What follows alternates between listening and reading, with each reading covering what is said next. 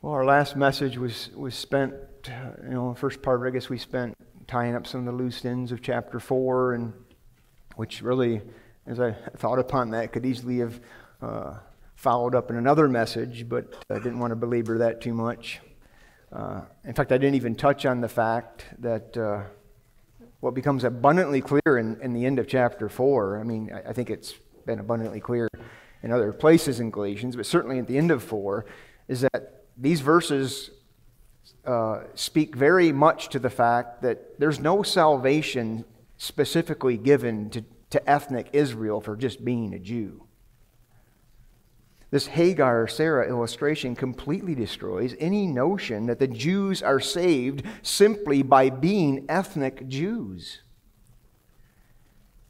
And I didn't get into that really because Jeff's covered that in his time through Romans, in his time with Romans chapters 9 through 11. But it is worth noting again because amazingly as clear as this is taught in Scripture, I mean, this isn't just in Galatians. We still have professing Christians today treating Jewish people as if they're somehow receiving special treatment by God because of their Jewishness. We do. Unbelieving Jews, Paul makes it pretty clear here, are in the bondage of Hagar and they need to be set free. And the only way they will be set free is not by their adherence to Torah, but by coming to faith in Jesus Christ. Well, we did move here into chapter 5, verse 1, which we will permanently be in now. Primarily just looking at the first part of this verse. For freedom, Christ has set us free. It was for freedom's sake that Christ set us free freedom from the law, freedom from guilt, freedom from sin, freedom from death, freedom from the devil. To quote the Presbyterian Ryan, or, or uh, Philip Ryken, rather, he has kept the law I could not keep, paid the penalty I could not pay, and won the victory I could not win. Therefore, and he quotes, the law of the Spirit of life has set me free in Christ Jesus from the law of sin and death. Romans 8 2. Free freedom in Jesus Christ. And so I ask you today are you free? Are you free? Paul's very dogmatic in this claim throughout his letter that it's Christ or. It's not Christ and. It's Christ or Torah. It's, it's not Christ and Torah. That's what this letter screams. It, it jumps right off the page. And, and please, please hear what I'm saying when I say that. Don't, don't hear what I'm not saying. Better yet, hear what Paul's saying. Don't, don't hear what Paul's not saying. He's not saying the law is bad. I'm not saying the law is bad. Not at all. The law is holy. The commandment is holy and righteous and good. Absolutely true. That's why it condemns us, because we're not. I agree with the law that it is good. I do. And we should ever uphold it as such. It affirms the righteous standard of God, of which we all fall short. And it points us to the only one who could and did satisfy its demands. But in coming to Christ, Paul says, in Romans 7 6. Now we are released from the law, having da- died to that which held us captive, so that now we serve in the new way of the Spirit and not the old way of the written code. And we're making our way towards further instruction on this in chapter 5. Yes, of course. Of course, there are good, permanent, made in the image of God laws, commandments, principles that God requires all humanity to sub- subject themselves to. God didn't create man to murder man, didn't do it. He didn't create marriage to promote promiscuity. Not at all. Never, ever. God is a God of truth, did not create us so we could run around telling lies. No, it's never been permissible. It's always been sin. He didn't create us to, so we could go and serve and yield ourselves, to yield our allegiance to some other created being or thing. No, that's idolatry. That's sin. That's always wrong. It's always has been wrong. To every one of us of all time, ever since the garden, ever since creation. God reinforces, and God reinforces these sins multiple times in Scripture, multiple times. Not just one time in a set of tablets in a covenant made with a nation. That, I mean, that should really go without saying. But you see, Paul's concern is centered on the shadow of Moses, which instead of being absorbed and fulfilled in the substance of Jesus Christ for which it existed, it was being held onto as the substance it was never intended to be. To quote Brian Borgman, a 1689 covenant theologian, in Paul's theology, he says, being under the law and being under sin is the same thing. And if you're not already convinced of that, I hope you will be by the time we get done with this letter. You see, one of the problems when you preach through Galatians or even Romans for that matter, a book like this, someone is invariably going to say the very same thing that people said to Paul. You're, you're making grace out to be something far more better than it should be. You're speaking way about Moses. You're making us lawless people, Paul. You're, Paul, you're promoting sin. I mean, how dare you take Torah away from, from the people of God, Paul? Should we all just sin? And since we're not under law but under grace, we just sin? Spurgeon says, You have not preached the gospel until or unless you've been accused of that. I love that man. Can't wait to see him in his big bushy face.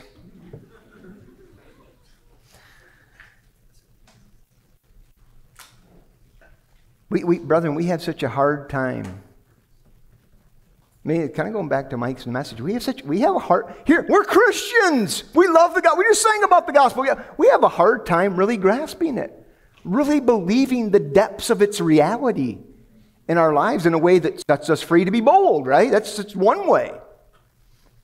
We have a hard time really believing in the freedom and power of God's grace given to us. We do. Freedom. This is really the climax, the clarion call of Paul's whole message here freedom from Jesus plus. Yes, freedom from, from Jesus plus the law, but really freedom from Jesus plus anything, period.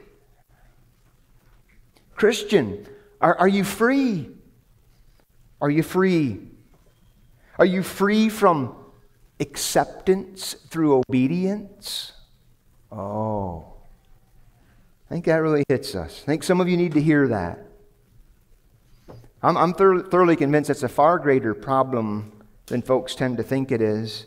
And I'm talking about with Christians, not with unbelievers, not with professors of faith that don't have Christ.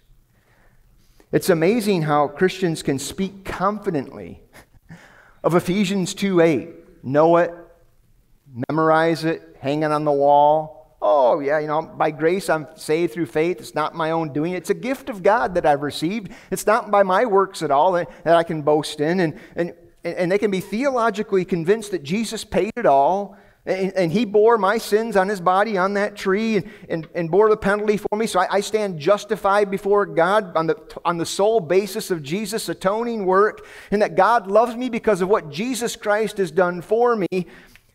But then, essentially, they betray that by questioning God's love for them or, or how much God loves them.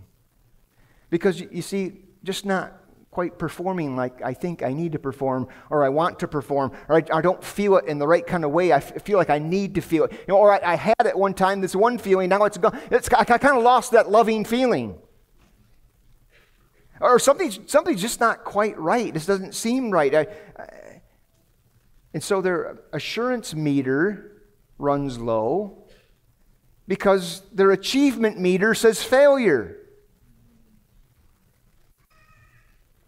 You know, one side of their mouth is saying Jesus is my only hope, but then they get crippled by their performance evaluation.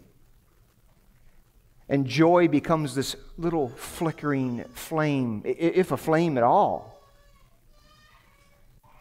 You see the problem with that? What does that really end up meaning?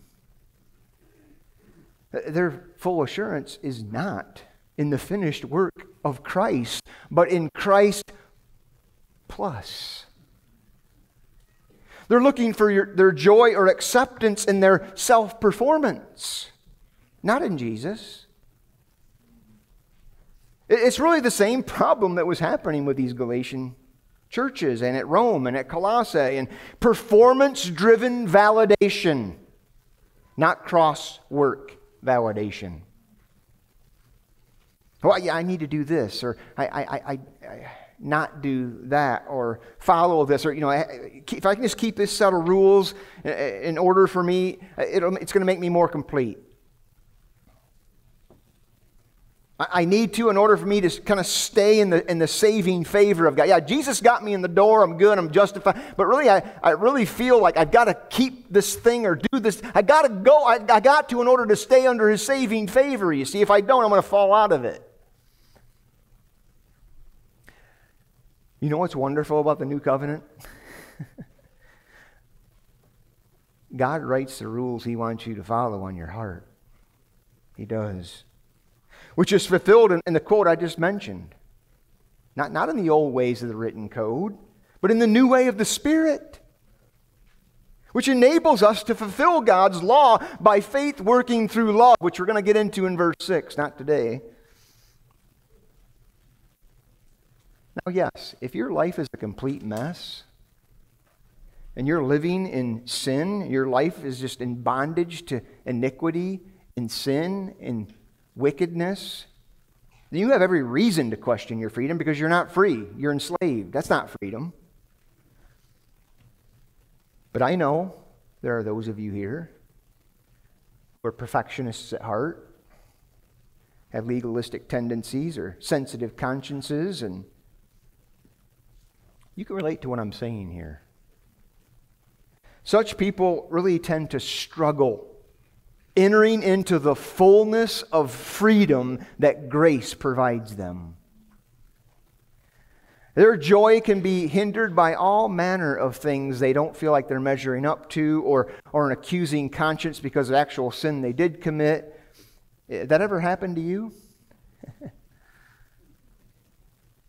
now, yes, God gave us a conscience. He did. A conscience we're not to ignore. It's a gift from God to keep us from evil. We're called as Christians to maintain a clear conscience before God and men. However, your conscience is not a flawless guide. It's not. Some of you might recall the old, some of the old timers might recall the old Jiminy Cricket song, uh, jingle there. Uh, Always let your conscience be your guide. Uh, for the most part, that's not, a, that's not bad advice. But if there's a bad part about that statement, it's the word always. Because our consciences are capable of producing false guilt. And we have an enemy who's constantly seeking to accuse Christians before the throne of God and in our own mind and to one another. And all, all manner of evil he's working constantly, trying to keep, I mean, he's working overtime, trying to keep guilt a fresh thing in your mind, Christian in the minds of God's people, ever suggesting to you, you're not really free. You know what you've done. You got this, this, this, this in your life. You did that, that, that, that, that. You're not free. But when it comes to Christians who have repented of their sin and are trusting in the finished work of Jesus Christ, their guilt is canceled in the wrath absorbing blood sacrifice of Jesus Christ. It doesn't matter what the sin was, how many times it was, if it's been repeated, real repentance equals real freedom. And most of us here, I think if we're honest, have a natural tendency to, to balk at that. Wait, I mean, there's got, there's got to be more. I mean, there's got, there's got to be some kind of penalty here. I mean, I've got to, I've got to suffer something for this sin that I've done, for this thought that I had, for this action, for this outburst, for this, I mean, which, you know, it's easily this shifts into a mindset of penance some self affliction I got to lay upon myself before I feel like I'm, I'm back again in, in, in, good terms with God. Some kind, of a, some kind of way of punishing myself. Real difficulty grasping grace. Listen, once a sin has been properly dealt with before the Lord in confession and repentance, regardless of what your conscience or the devil might declare, you are a guilt free child of God. And you got to believe that, Christian. Your father is not hanging that thing over your head. He's not, he's not recording your sins in some uh, demerit book that he has in his back pocket he's going to surprise you with on the last day and open it up and say, Well, you know, I, I was keeping track of those things. Uh, no, not at all. Free and clear. That's, that's the record if you're in Christ. Free and clear. And brethren, that right there is the motivating force and power behind obedience to Christ. Not a list of rules, not duty. It's in the realization of how free the freedom is that we've been granted. That's the power. If we can get a hold of it, if we can really see it, if we can really believe it. The extent to which you really believe that is the extent to which you're truly freed up to serve God for His glory.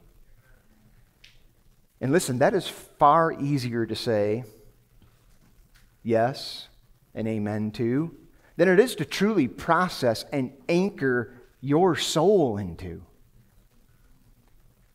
I, want you to notice the text here. Paul goes from freedom to stand firm.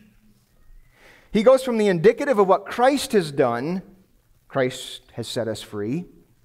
We are free because Jesus has made us free. He goes from the indicative to an imperative or a command. From a, a fact that grace produces freedom to a command that really freedom produces standing firm. From what Christ has done to what we are to do. Okay, attention, all law lovers. Here's your due. Here it is. Here's your command. We're being commanded by the apostle here to stand firm. But it's a command that's rooted in and motivated by the indicative reality that Jesus Christ has set us free. And this reality is really what all new covenant commands flow from freedom, our gratitude Gratitude is what drives God's people to serve God. Gratitude is what drives God's people to bear fruit for His name. Gratitude is what drives God's people to be pleasers and lovers and pursuers of Jesus Christ. They're not motivated by duty, but by thankful hearts moved by the wondrous reality of what my freedom cost and the desire to please Him who purchased me with His very own blood. Stand firm, therefore, Paul says. And it means just what it sounds like it means to not give any ground, to keep one's standing, to, to persist and persevere, to maintain allegiance to, in this case, to your own freedom.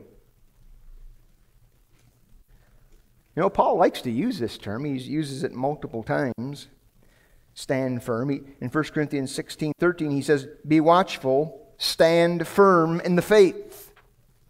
In Philippians 1:27, he says, Only let your manner of life be worthy of the gospel of Christ, so that whether I come and see you or am absent, I may hear of you that you are standing firm in one spirit with your mind, striving side by side for the faith of the gospel. Philippians 4 1. Therefore, my brothers, whom I love and long for, my joy and crown, stand firm thus in the Lord. 1 Thessalonians 3 8. for now we live. If you are standing firm in the Lord, it's fast there, same word, standing firm in the Lord. You, hear, you hear the, the connection Paul makes in all those? What, what Paul connects to standing firm in? It's either in the faith or in the Lord, which essentially is the same thing. Because the faith is in the Lord, and which is, which is the very thing that yields freedom to Christians. But as I clearly stated in my last message, this law free gospel is not one that sets us free to commit sin. Not at all. That's never in the mind of the Apostle Paul. Never being under law, not being under law, but being under grace, which is a New Testament biblical statement and reality. But that reality is not heralded by Paul as a license for sin. In fact, grace frees you from sin. It doesn't lead you into it, it leads you away from it and out of it. And then he, Paul says, and do not submit again to a yoke of slavery. I trust you're all familiar with what a yoke is. It's not that yellow part of the egg. That's a, that's, that's a Y-O-L-K. Although that, that is a good part of the egg. A, a yoke was a tool that was made for, to help animals work together to bear heavy loads, doing heavy work, which basically was a, a wooden beam that laid on the shoulders of two oxen or whatever animal it was. Had a collar on each animal. It kept them aligned and in sync with one another. And enabled them to do twice the work. Enabled them to do more work. And then you came along, you had, you had human yokes too, where you, would have the same kind of beam, and you'd have these attachments out on the end where you could hold large items or heavy items that would be too awkward to carry with your hands. I mean, those have been used in the past. And of course, this transferred into human slavery as well. Yokes being used to constrain, to control, and in most cases, abuse people. Since Israel's bondage to Egypt, it became a metaphor for, for that which was burdensome. I mean, certainly the image is still in the oxen, too. Burdensome, oppressive. Paul is referring to the law here as a yoke of slavery. No question in the context. Paul, Paul's not only the only apostle who does this, though. Acts 15, if you want to put your finger here and just flip over to 15. You remember we looked at this before in Acts 15. Peter speaks of the Mosaic law in very, very same fashion. When, when discussing this question, what, what should the, now what should the Gentiles be observing in terms of, of the Mosaic law? And the, and the primary issue on the table was, was circumcision, but it was the Mosaic law. It produced this giant council at Jerusalem, and all the apostles gather, all the, the big wigs of the, of the New Testament era, and here they are, they're gathered. Verse 5. But some believers who belong to the party, interesting, Luke calls them believers. Chew on that for a bit. So, some believers who belonged to the party of the Pharisees rose up and said, It's necessary to circumcise them in, and to order them to keep the law of Moses.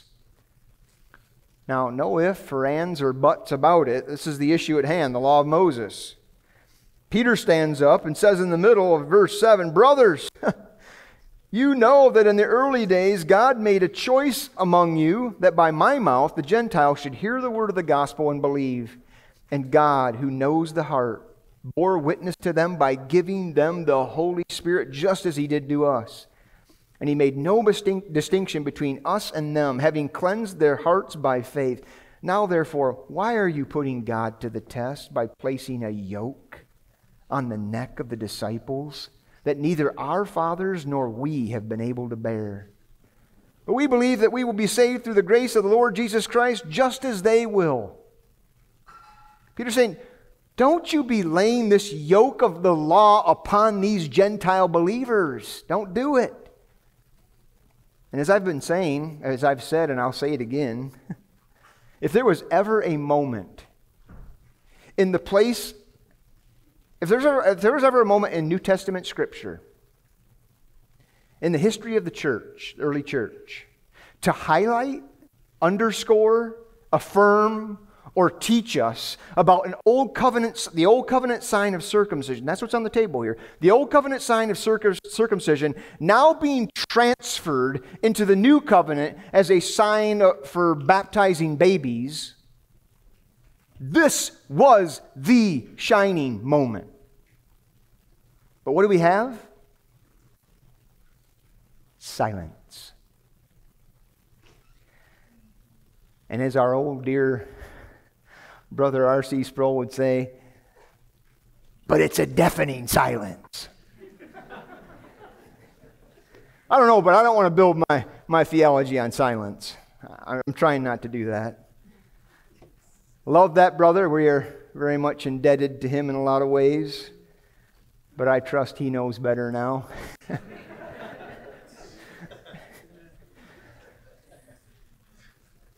Anyway, then James gives us his judgment on what the Gentiles should observe and refrain from, and as, as, as Christians in the midst of believing Jews. How, how, are, they to function? How, how we deal with this? We're in the midst of Jews. And, and James' determination is he doesn't laden them with the yoke of Moses, but with four simple restrictions. In verse 20, Abstain from the things polluted by idols, and from sexual immorality, and from what has been strangled, and from blood. Now, yes, they certainly received other instruction from Paul, but where their lives intersected Jews and Jewish custom built upon Old Covenant law, these were the only areas the apostles felt it was important to point out. And that's pretty significant. But back to Galatians chapter 5 verse 1, Paul says, "Do not submit again to a yoke of slavery." He says, "Do not submit again to a yoke of slavery." Clearly, yes, I pointed out this is text is talking about the law, but but notice the adverb again. Uh, most of these folks, certainly not all of them, but most of these folks had, had, had never been under the yoke of the law. The law of Moses, for the most part, was foreign to them prior to their conversion. They, they didn't know of that. And saying again, Paul is, is re- referencing their former enslavement back there in, in chapter 4, verse 9. The worthless elementary principles of the world, their, their former paganism, their former pagan idolatry, that slavery that they were in. That's what these Galatians were previously yoked to prior to Jesus Christ saving them. And Paul's suggesting here that if you, to go from your pagan idolatry to Christ and then to the law of Moses would be to go from a yoke of slavery to freedom to a yoke of slavery. That's what he's saying. Stand firm, therefore, and do not yield. Don't return again to slavery this time being the slavery of Torah observance. Don't give place to that which is going to remove or threaten your freedom in Jesus Christ. And you know what's scary about this? They, they didn't believe, they didn't think they, what they were doing was enslavement at all. They thought assuming old Jewish covenant signs and, and their lifestyle was actually a super spiritual benefit. I mean, they were growing, maturing, advancing as Christians. This is making them more Christian now. I mean, look at us now. We're really committed. We're, I mean, we're just like the other Jewish believers.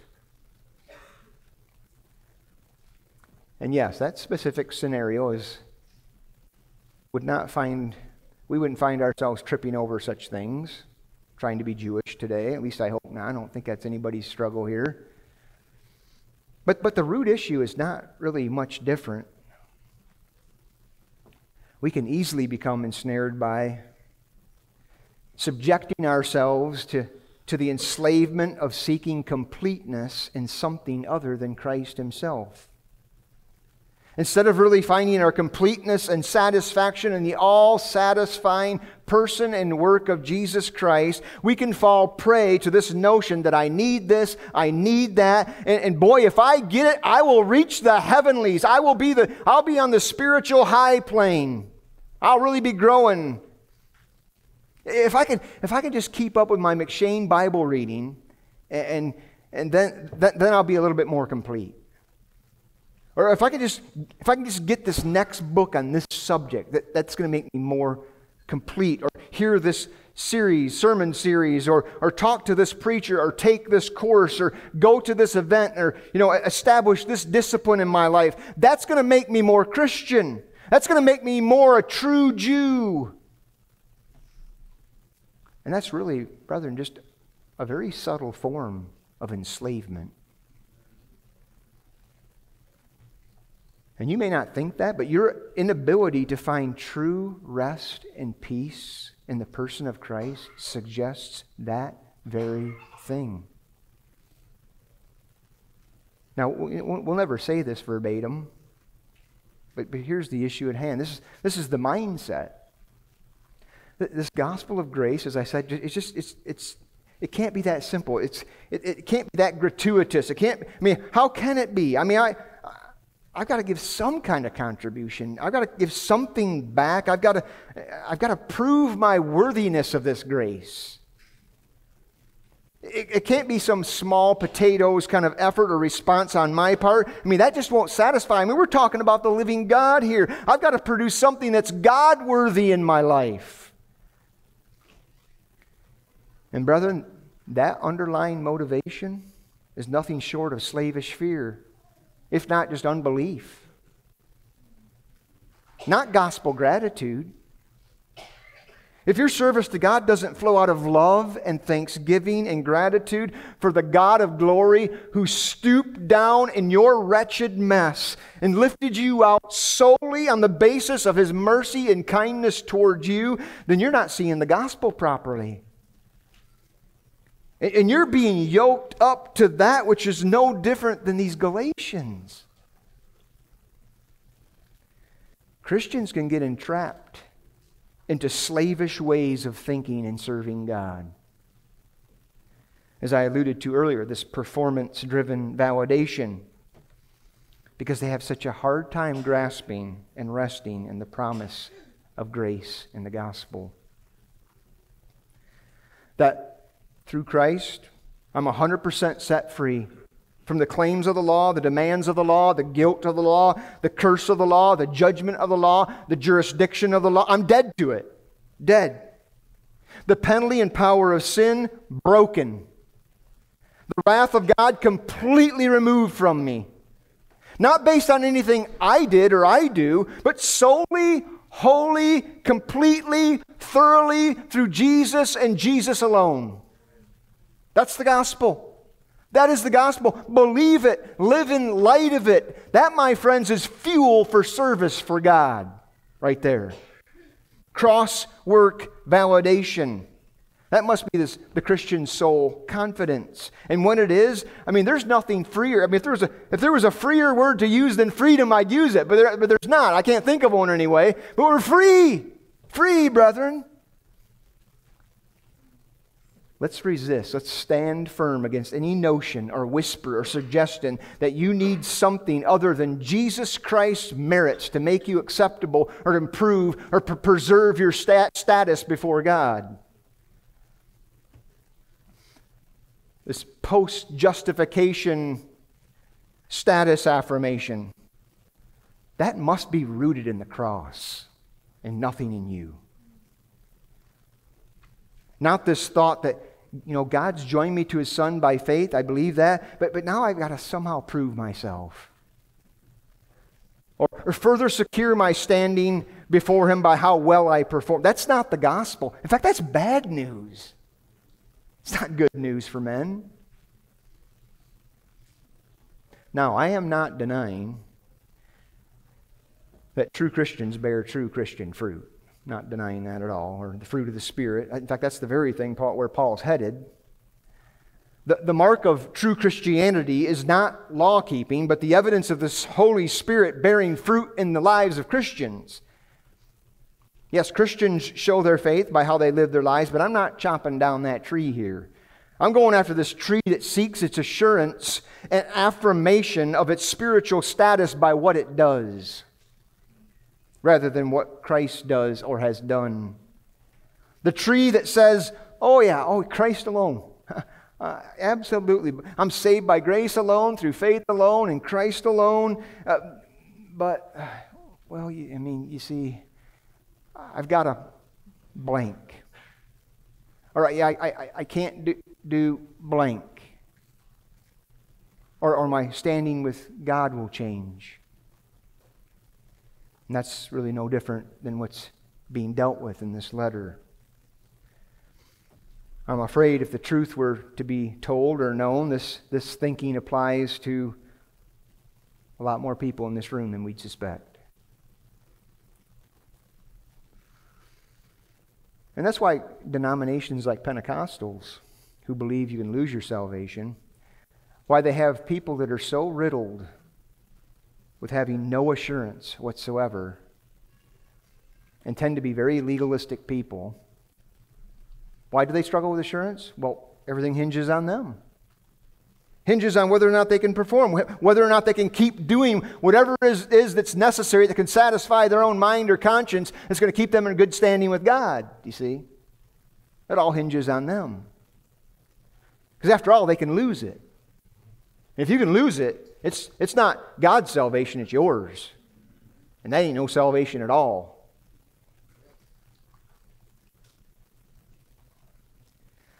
Those of you that are Christians, I want you to look down at this passage again. Chapter 5, verse 1. You see that word freedom there? That's the Holy Spirit's proclamation of you who have entrusted your life and never dying soul to Jesus Christ. Free. No strings attached. Free. Yeah, but. No, yeah, buts. Free. Free. The, the but should be but God. But God, being rich in mercy because of the great love wherewith He loved us, uh, great love. Do you hear that? Great love. Great love came down and took hold of us. It's God's great love. God's not hesitant or embarrassed or reluctant to pronounce great love towards you. Yes, even you. This great love with which He loved us, even when we were dead in our trespasses and sins. Yes, there was a day when you were absolutely dead in trespasses and sins, and you didn't care about sin. You didn't even, you didn't even acknowledge sin. You didn't even know what conviction was. You didn't, let alone regret your wicked pursuits and lusts after sin. You didn't care about that at all. But God. But God made us alive together with Christ. And you know what happens when you're alive? You can feel, right? When you're dead, you don't feel anything, but when you're alive, you start feeling something. You're made aware and sensitive to some realities without and some realities, especially the realities within. Realities of sin and evil and things that are opposed to God. Things that before the before time, before God came down and rescued you, you were completely dead to, completely numb to, completely ignorant of. You were dead. You were dead to it. But great love makes you see it, makes you know it, makes you feel it, makes you call it what it is. That's what it means to be alive. Alive doesn't mean you're completely absolved from sin. Alive means you recognize the sin, you turn from the sin, and you run to the great rescuer and redeemer of your soul, and you plead his blood, and you plead his mercy, and you plead his grace, and you point to those wounds and you rejoice in them. Because there's your forgiveness. You know what you're met with when you, when you go there to that throne? You're not met with some angry cosmic Zeus who's ready to beat you over the head or strike you with some lightning because you, you, know you failed again in this area or you had a bad thought or, or you didn't do your morning devotion. No, no, no, a thousand times no. Listen, it's great love. It's great love that came down and took upon himself human form. It's great love that drove Christ to the cross. Not so he could berate you for your failures Not at all. He already knew those and knows every he knows more of the failures than you know. He knows more about your failures than you know yourself. No, he came to save you from all those failures. This is who Jesus is. He's mighty to save from the uttermost to the guttermost. That's the Savior we have. And none are too bad for him. I'm telling you, not one of them. A devil's lying to you if you think you're too bad to come to Christ. He came for such. He came for such people that are wretches, that have defiled him, that have ignored him, that have presumed upon him. Lay down your weapons, embrace him today, and he says, Come, and you can have me, and you'll have everlasting life. That's the, that's the Christ of Scripture. Glorious Savior is Jesus, my Lord. When you come, He sets you free. He sets you free, freed from all things which you could not be freed by the law of Moses, He says. Freed from sin, freed from self, freed from darkness, freed from this world, free, yes, as our brother said, freed from death. Listen, next casket gets placed in this in this front here, we're all going to be weeping and mourning. I got, I got news for you. The person that was in that body, they're up singing hallelujah, rejoicing. They're not dead. They're ever alive. They're more alive than all us weeping folks over here feeling sorry for ourselves because they're gone from us. That's the difference between a Christian funeral and one that's not. Oh, a massive difference. Our death is a gateway to the presence of Christ. Oh, what a glorious thing. Where am I at?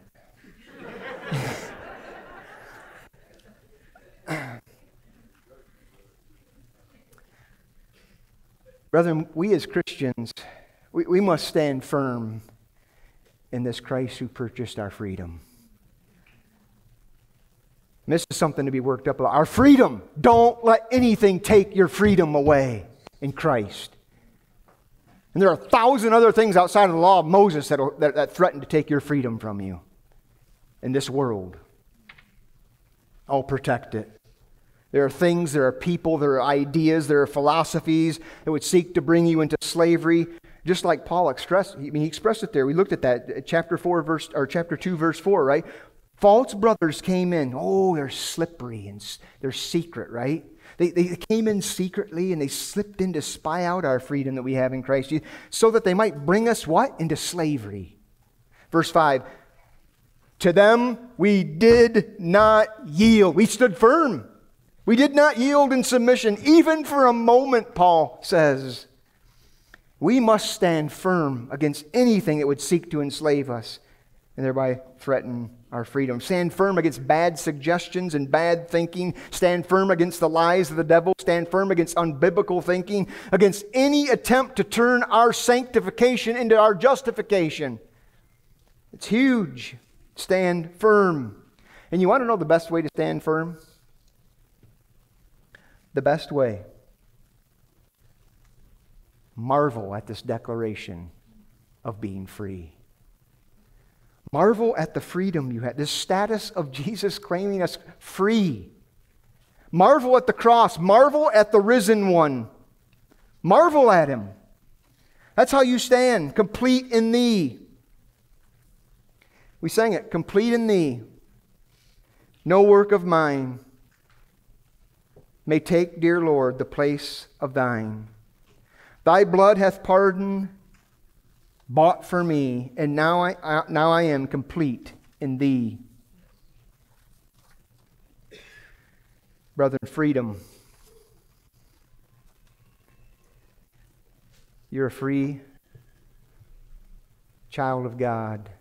He's going back to Mike's message. Brethren, we can't live the life that we're called to if we're entrapped, if we're enslaved. And, it comes to the very basics of Christianity Christ and what he's accomplished. Is that the basis of your confidence?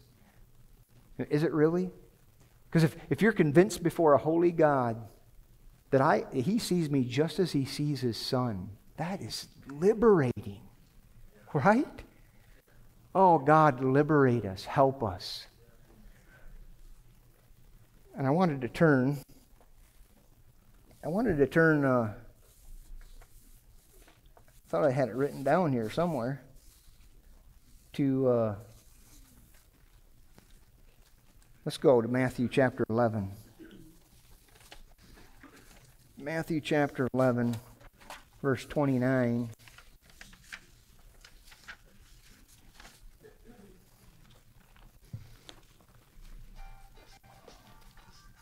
We'll close with this.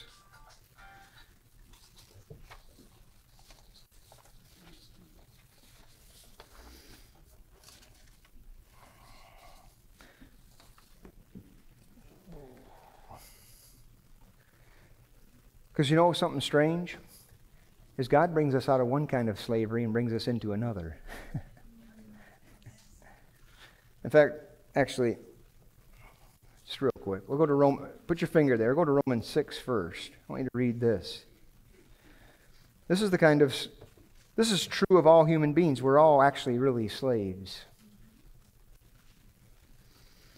Romans 6,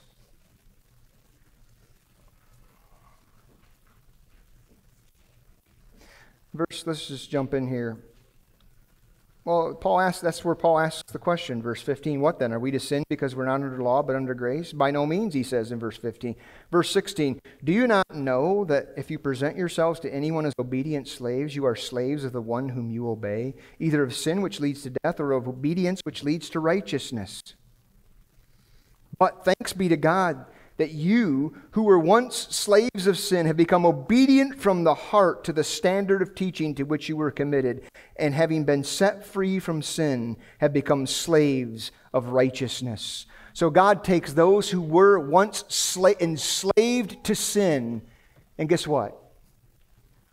He makes you a slave to righteousness. But it's a, it's a completely different. See, the slave, slavery to sin is just that, a, a, a, is, is uh, oppressive and burdensome. The slavery to Jesus Christ comes from a heart that's willing, desirous of being connected to Christ. And that's where I want to go back to, to Matthew 11. The illustration he gives us here of, being, of our slavery to Jesus Christ, it's a whole different kind of slavery. Matthew 11, Verse 28 Come to me, all you who labor and are heavy laden, and I will give you rest. Take your yoke, take my yoke upon you and learn from me, for I am gentle and lowly in heart, and you will find rest for your souls. For my yoke is easy and my burden is light. Jesus says, Take my yoke upon you and learn from me. You know what happens when you're yoked up to Jesus? he's, he's right there by your side. And you can look at him, you can watch him, you can talk to him, you can hear him. And as you do, it makes you want to obey him and love him and serve him and trust him and follow and follow his lead under that yoke. Because guess what? When you have you have the being that has the strongest and broadest shoulders in the universe, it doesn't matter what kind of load's laid upon it, he ain't moving. His, he, his standing's firm, and that load's, guess what? It doesn't, all that load doesn't transfer to you, it transfers to him.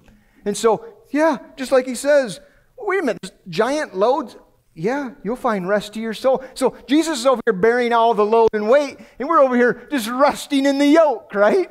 That's the image. It's just counterintuitive, but that's the reality. Christ bears the burden for us. Christ takes it upon his shoulders, so it's not on yours. My yoke is easy, my burden's light. Oh, to him it's light too. It's nothing to him. The whole thing's light.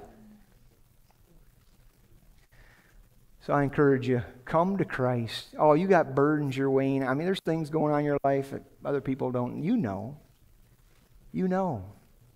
You know what? Christ says, Come. I'll take it. You're not going to shock me. Trust me. I've dealt with the most wicked of people. There ain't nothing you've done I haven't handled before in the universe. It, it, it, come. And you're going to find out that my yoke is far more favorable than Satan's. Far more. And I'll take all those things you've done against me as an enemy, I'll just wash them away. And you'll be gladly yoked to me. Father, we're so thankful for the gospel. Lord, Lord,